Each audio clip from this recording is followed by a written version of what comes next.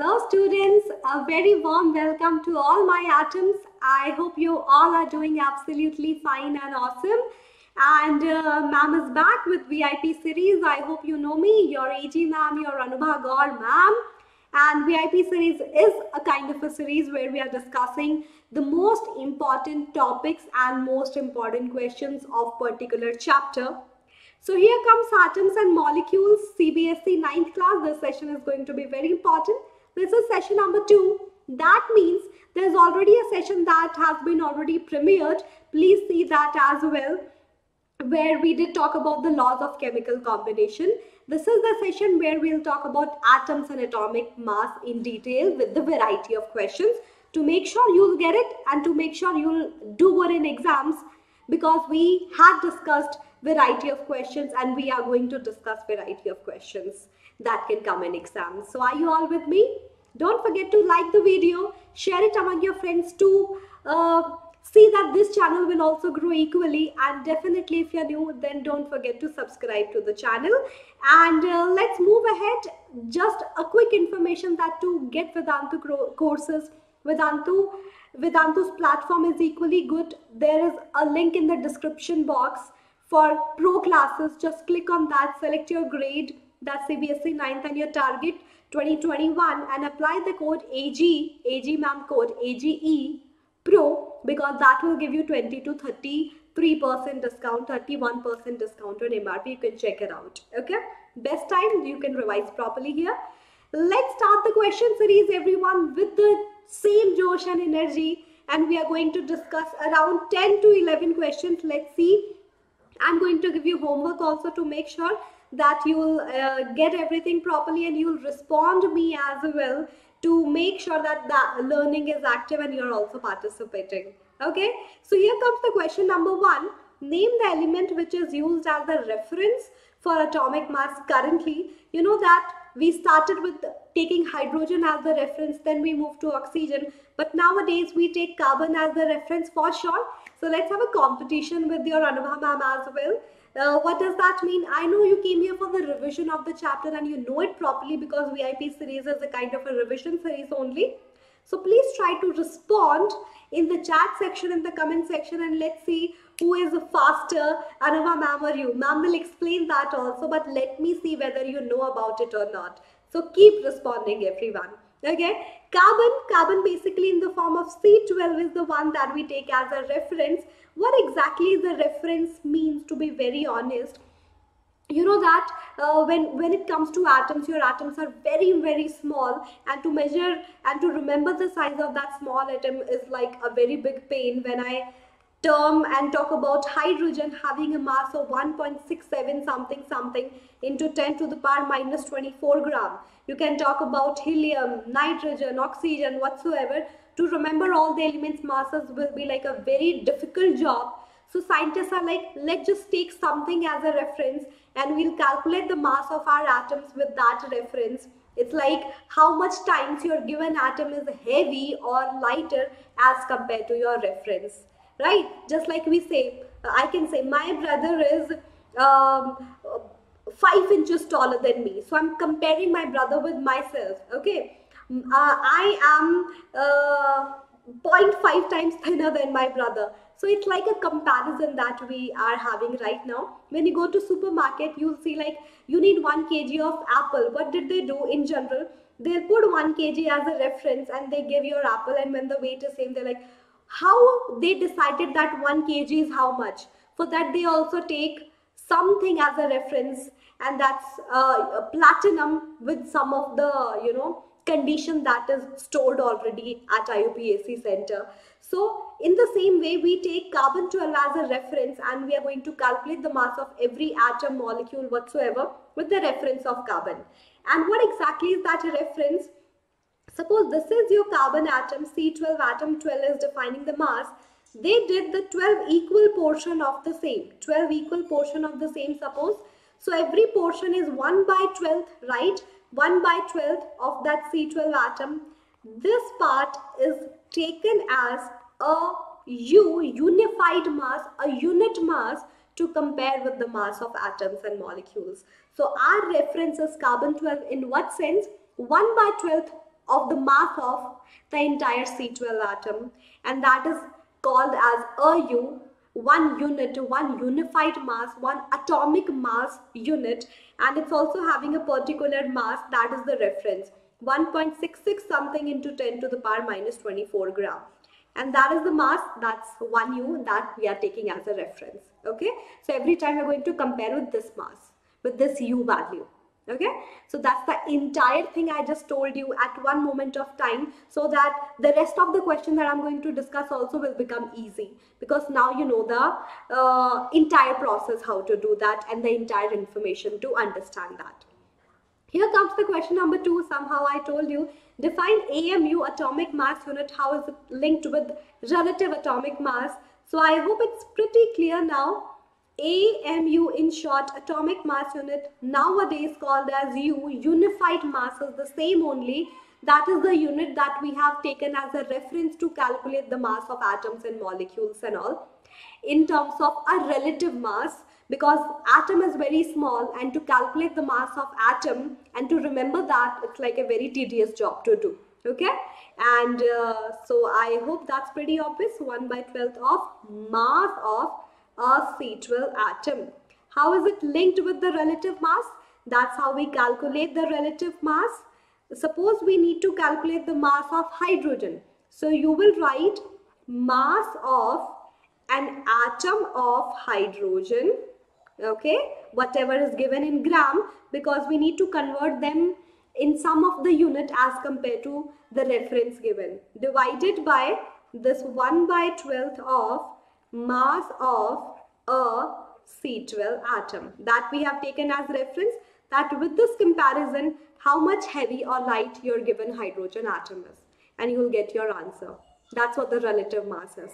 How do you know the presence of atoms if they do not exist independently for most of the elements? You know, that's true. Your noble gases are kind of exception. They can exist independently. But apart from that, atoms can't exist independently because they are very tiny.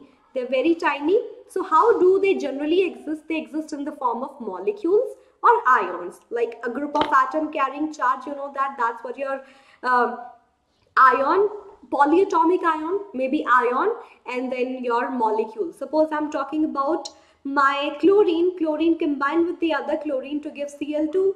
That is what a molecule of chlorine which can have independent existence comparatively a bit bigger in size as compared to your chlorine atom. So how do the presence of atoms, uh, we can figure it out in form of molecules and ions just to achieve stability because atoms are very tiny won't have independent existence okay? That's what is written with the different different kind of cases also that what exactly is the reason behind the same with the variety of examples. So please understand that and revise it properly okay? Here comes the next question and that is what is relative atomic mass of an atom something i already told you so it's not like a bigger deal you can also tell me in the comment section what's the relative atomic mass of an atom which i told you like a minute before the mass of the given atom as compared to your C12, 1 by 12th of C12 and that will give you a relative mass that how much times heavy or lighter your given atom is. Yeah. The relative atomic mass of oxygen atom is 16. Relative mass is 16. That is 16U. And I can also write it 16 into 1U. That's simply telling that my oxygen atom is 16 times heavier than my unified mass, than my unit mass. That's as simple as that. 16 means 16 times heavier than your reference that we have taken. That is U. Okay, that makes sense. That's what the reason that we use it. It's so simple to remember. 16 for oxygen, 12 for carbon. Hai? It's so simple to remember. So that's how we do that. So that became easy peasy. Let's have the next question, but do not forget, let's have a target also. Can we achieve 300 likes, like not a big target when the session is going to end? Uh, because uh, let's keep the target to make this channel equally a hit the love and support that you are giving to the last channel also. Okay? So let's have some more and more question. What why does not atomic mass of an element represent the actual mass of its atom? I told you this is also we did that the actual mass of atom is very small and very tedious and very difficult to remember. So just for the sake of convenience, we calculate the mass in terms of relative mass by taking my C12 as the reference because it's easy to remember uh, mass which is in the whole number, quite close to whole number. Okay. Let's have the next question also. The atomic mass of an element is in fraction. What does it mean? This is something that you'll understand in fourth chapter also. Some of the time, suppose I'm talking about chlorine only. Chlorine's mass we write as 35.5 U. But here comes the wonder that why the mass came into fraction. Or I say in this uh, decimal point. The reason for the same is when your element exists in more than one masses, like when they exist in the form of isotopes. What is isotopes? Iso means same. And here what exactly is the same? Same element, same proton. When element is same, having difference in the mass, which one we'll prefer? So what scientists did, they're like, you are going to take average mass by taking their abundance also into consideration. Abundance is how much amount they are having in the nature. Okay.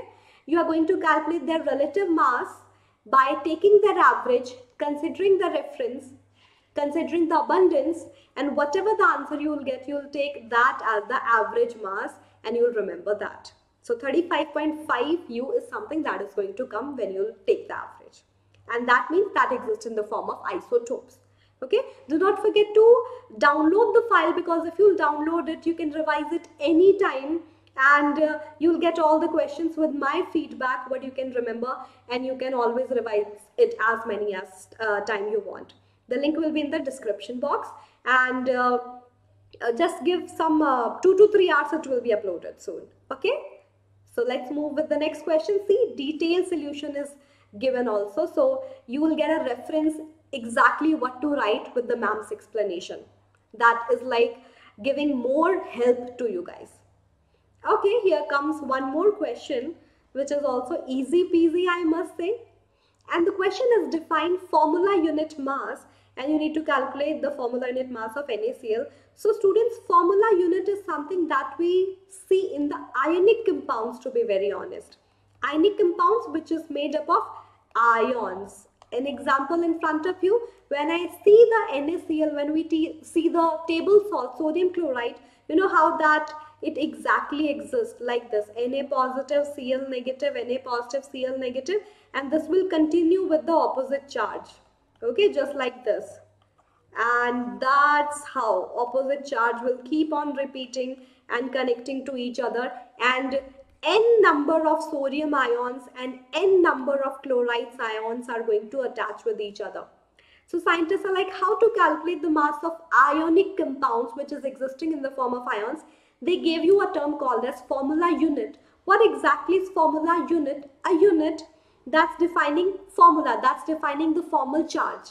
So the simplest unit, the simplest unit that is defining the total positive and negative charge that is called as a formula unit that keep on repeating itself to give you the entire compound here.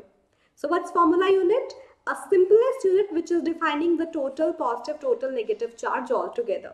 Just take one positive, just take one negative.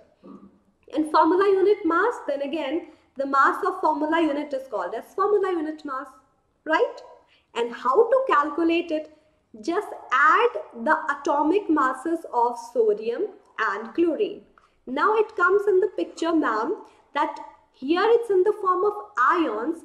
It has lost one electron and it has taken an electron. So why you are telling this to us that add the atomic masses? Students, I'm saying that because electron, you know that electron's mass is negligible. So you can avoid the mass of electron and can simply take the mass of sodium atom and the mass of chlorine atom.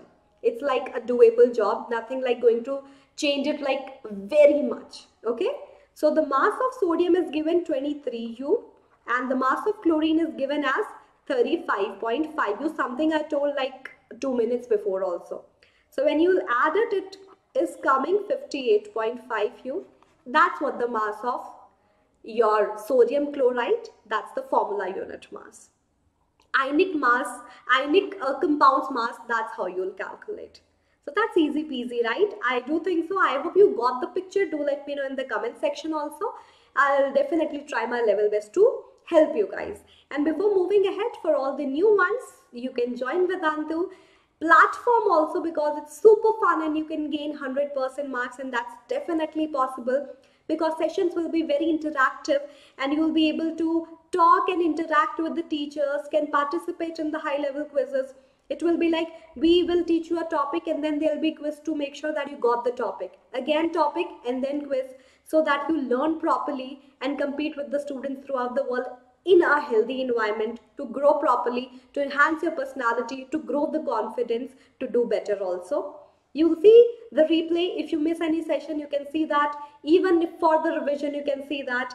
And here you can attend the quizzes also. It's not like in revision, you will just be listening. You will able to participate in the quizzes and you can see your name in leaderboard too, which is like an amazing feature. And you will be able to download all the content of Vedantu with all the teachers' feedback so that to make sure your revision will be up to the par, your doubts will be solved with the master teachers and a team of class teachers to make sure that you get everything and no doubts will remain unanswered. And the best attraction is there are plenty of micro courses, chapter based courses, and crash courses for revision. This is a time for revision and you please make sure that your, your revision is up to the par and you this is the time with the proper revision of two months You'll make sure to boost your score by 15 20% easily so revise it here properly with the most important questions and you can do that by having this funda less is more because we have two kind of a course that you can uh, attend for the same there is a link in the description box pinned by Vedantu 19 channel. When you open that message, there will be a link for pro classes.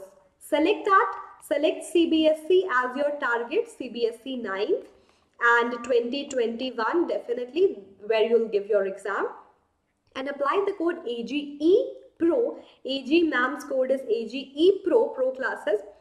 That will give you that 20 to 31% discount.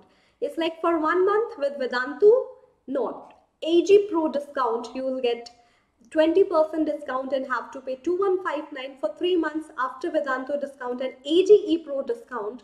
You just have to pay 1866 per month. So definitely uh, 3 months is like more beneficial in terms of monetary benefit but you can choose it accordingly like when your exams are going to start you can plan accordingly for 1 or 3 months okay so it's like paying 11 rupees per session or 9 rupees per session for 3 months. You can choose accordingly.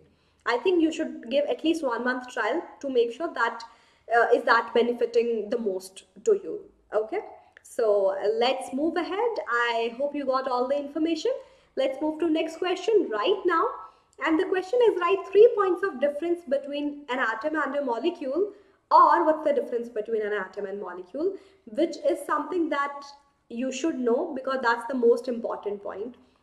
What exactly is atom and molecule? Yeah? Atom is something that does not have independent existence. Does not have independent existence. This is like a very important point why so because uh, they are very tiny they can't exist independently for the stability they lose their electron some will gain the electron make compound and sometimes they share their electron with other atom and make compounds molecules. So molecule have independent existence. That's an important point. And apart from that, what exactly you can add, atom is the smallest part, particle to take part in a chemical reaction. Atom is the smallest particle to take part in a chemical reaction. Molecule do participate, but that's comparatively bigger than your atoms. When atoms of the same element combine, when atoms of the same element combine, you can get different, different molecule also, right? Just like this. When atom of same element combine in a different ratio, you can get different, different molecule. And when molecule is something that's keep on repeating itself uh, to give you the entire compound or your element, okay? Entire compound or element. So atom is the smallest particle to take part in a chemical reaction Molecule is the smallest particle of what? That could be of any element, that could be of any compound. Just like hydrogen, oxygen, that's the molecule of element. H2O, carbon dioxide, carbon dioxide, that's the molecule. Water, carbon dioxide, that's the molecule of a compound. When same, uh, same atom combine, that's the molecule of element. When different element combine, that's the molecule of compound. Okay. So you, uh, usually atom is not stable by itself, molecule is stable and atom combine to give molecule of different property but molecule combine to give the same element or a compound that's what the molecule is the smallest part of the same okay so let's move ahead how many times heavier is one atom of carbon than an atom of oxygen it's like you're comparing your carbon with your oxygen isn't it i hope the color is visible to you as well so it's like comparing the mass of carbon with oxygen. That's very easy question, nothing like difficult. It's like small kid problem. Why? Because you know that one atom of carbon is having a mass of 12U, one atom of oxygen is having a mass of 16U, and you're comparing the mass of oxygen and with the carbon. So you you cancel because how, how much times it's heavier, that's what we need to tell and 4 into 3 12 4 into 4 16 3 by 4 times heavier that's what we get to know from here from these figure i think that's very simple question. What do you say? Simple right? And i hope you're following it properly and not leaving it in between because i'll ask questions to you too as well. I hope you got it. Okay? Now the next question is calculate the formula mass of sodium carbonate having 10 molecular water with it. So students, that's also not difficult. I told you formula mass is nothing new, but just add the mass of atoms which are involving to give the given formula. So I figured out I have two sodium atoms, two Na atoms, tuna, not tuna fish, two Na atoms, two sodium atoms, one carbon and three oxygen to give the sodium carbonate plus 10 molecule of water which is having two hydrogen plus one oxygen. So let's try to add the masses. 2 into 1 sodium's mass is 23. 1 carbon having 12 mass. And 3 oxygen is not 30, okay? 3 into oxygen mass is 16. Plus 10, 2 hydrogen 2 plus 1 oxygen 16U. Okay? You might get the mass, you might not get it. Please at least try to remember the mass of first 10 atoms. Okay? 2 into 23, 46 plus 12 plus 48 plus 10 into uh, 18 right so what will be the sum you can do that or else I'll do the same for you 46 plus 12 plus 48 plus 10 into 18 that's 180 and the entire mass after addition will come out as 286 U. I made it easy for you but uh, please make sure to do that because if you won't do it you can make or you can end up by making any mistake in the calculation. It's very important to do. okay. I'll give you some question as a homework also. Let me solve one part for the same and you'll do the rest too. There is two hydrogen atom, one carbon and three oxygen. You just need to add the mass of all of it. One hydrogen, one U, two hydrogen, two U. One carbon, 12U for sure. Three oxygen, one oxygen is 16, three oxygen is 16 into 3, 48. So that's 48 and 2, 50, 50 plus 12, that's 62U. That's the mass of a carbonic acid molecule.